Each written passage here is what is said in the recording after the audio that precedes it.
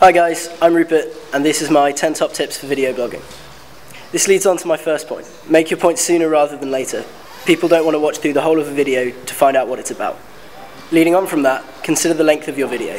About three minutes in general is pretty good. It's too easy for people to switch off. Know your camera inside and out. Whether it's a flip cam, DSLR, or a webcam, it doesn't really matter. But all of those little intricacies in the settings will really make the difference for making it professional or not. Because we're using a webcam, we're using an app called iGlasses, which helps you change the exposure settings and the shutter speed settings, which will really add to that professional touch. Lighting is one of the most important parts of video. Nobody's going to want to watch you sitting in the dark.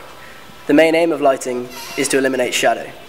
So as you can see, we've just used two office desktop lamps, um, one to light the right and left side of my face, and just some greaseproof paper to diffuse the light, get rid of all the shadow, even on the face.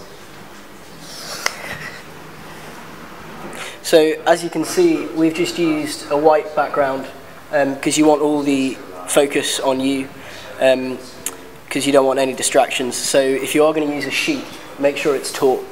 Um, if you aren't going to use a sheet, make sure there's plenty of depth to the background so there's no distractions for the viewer.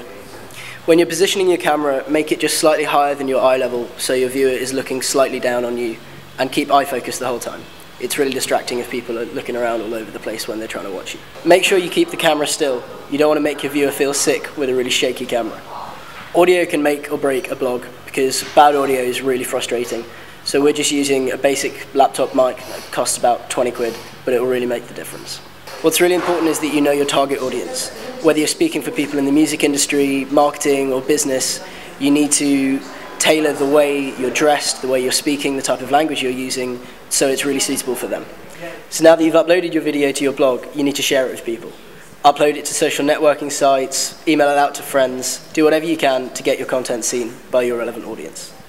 I hope this blog has been helpful in making you realise that you don't need huge amounts of money or technical equipment to make a professional looking video. As long as you know what you're talking about, there's no reason that your content can't be seen by loads of people. Thanks for watching.